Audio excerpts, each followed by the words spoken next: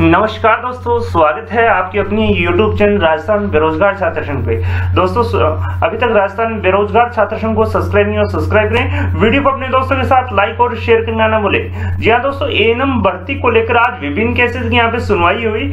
और मैं बता दूँ एएनएम भर्ती 2018 को लेकर स्टे यहाँ से हट गया है। जी हाँ दोस्तों हाईकोर्ट में बड़ी राहत दी है। इसके अलावा, जिन अभ्यर्थियों को जाति प्रमाण पत्र की वजह से वंचित किया था ज्वाइनिंग को लेकर एस सी के जो अभ्यर्थी शामिल हैं, जो लड़कियाँ शामिल हैं एनएम भर्ती को लेकर, उनके 26 मार्च से पहले पहले डॉक्यूमेंट फिर से वेरिफिकेशन करने के यहाँ पे आदेश दिए हैं।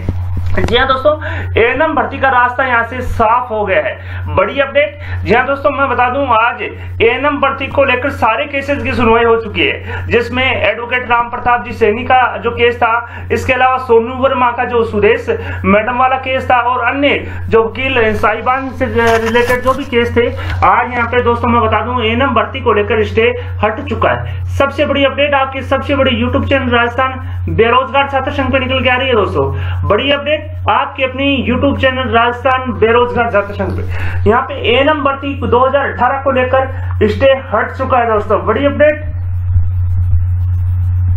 दोस्तों, मैं बता दूँ मैं हाई कोर्ट में ही था, जयपुर बेंच में। इसके अलावा मेरे साथ मेरे जो एडवोकेट थे, मैं बताऊँगा मिश्रा जी, इनका बहुत बहुत सहयोग। इसके अलावा जो अपने अभ्यर्थी हैं जिनको इस केस को पॉजिटिव करवाने में काफ़ी अहम योगदान रहा, जिसमें मैं राजस्थान संघर्ष समिति 2018 का भी नाम लेना चाहूँगा। इसके अलावा विभिन्न संगठनों के जो भी इस केस को पॉजिटिव करवाने में लगे थे हाईकोर्ट से, उन सभी का तहे दिल से आभार। जी हाँ दोस्तों एएनएम भर्ती 2018 को लेकर यहाँ पे स्टे हट चुका है। राजस्थान बेरोजगार छात्र संघ ने दोस्तों आपको कल ही बता दिया था कि हमने डब्ल्यूजी शर्मा डब्ल्यू साहब, विभूति मूर्ति जी, भूषण से भी बात की, इसके अलावा मुकुल जी शर्मा से भी वहाँ पे वार्ता हुई। और अपने को सत्ताईस तारीख का यहाँ पे बोला था कि आपकी जो एनएम भर्ती है, उससे सत्ताईस तारीख को यहाँ से स्टे हट जाएगा। और दोस्तों इससे यहाँ से हट चुका है। इसके अलावा जो वंचित अभ्यर्थी हैं, एस सी, एस टी को जिनके जाति प्रमाण पत्र की वजह से वंचित किए रहे थे, उनका एक बार फिर से डॉक्यूमेंट वेरिफिकेशन होगा। और दोस्तों, यहाँ पे एनएम भर्ती 2018 का रास्ता हो गया है। अब आपको जल्द ही पहले ऑफ़ पोस्टिंग के ऑर्डर जारी हो जाएँगे।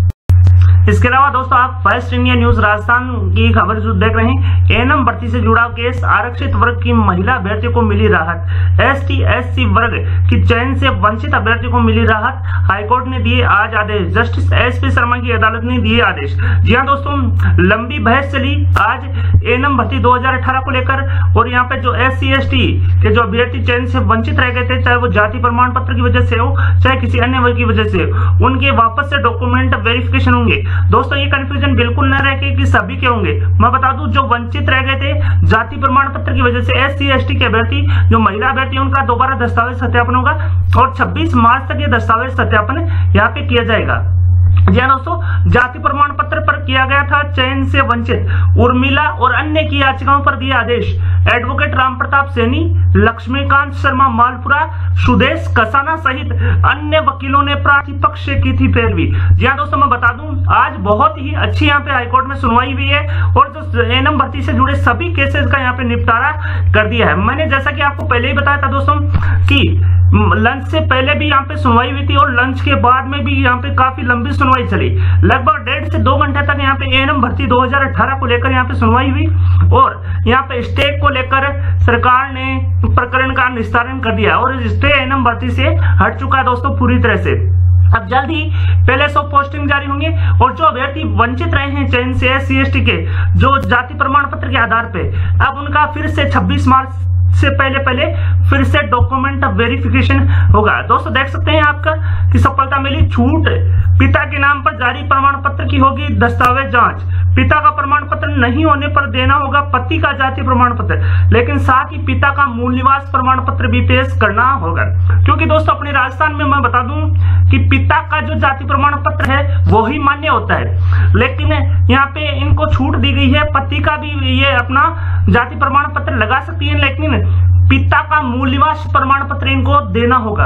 हाँ दोस्तों, उर्मिला कुमारी सोनू वर्मा, इसके अलावा अन्य की ओर से राम प्रताप सैनी, सुदेश कशाना और अन्य वकीलों ने यहाँ पे पैरवी की और यहाँ पे जो एनएम भर्ती 2018 का जो स्टे था, वो यहाँ से हट चुका है। बड़ी अपडेट आपकी अपने यूट्यूब चैनल राजस्थान बेरोजगार छात्र संघ पे। इसके अलावा मैं बता दूँ जीएनएम भर्ती का जो फाइनल सुनवाई चार मार्च को रखी गई है, उसमें जीएनएम भर्ती का भी यहाँ पे स्टे हट जाएगा। बड़ी अपडेट, दोस्तों, वीडियो को ज़्यादा लाइक करें। इस वक्त की सबसे बड़ी अपडेट आपके सबसे बड़ी यूट्यूब चैनल राजस्थान बेरोजगार छात्र संघ पर निकल के आ रही है।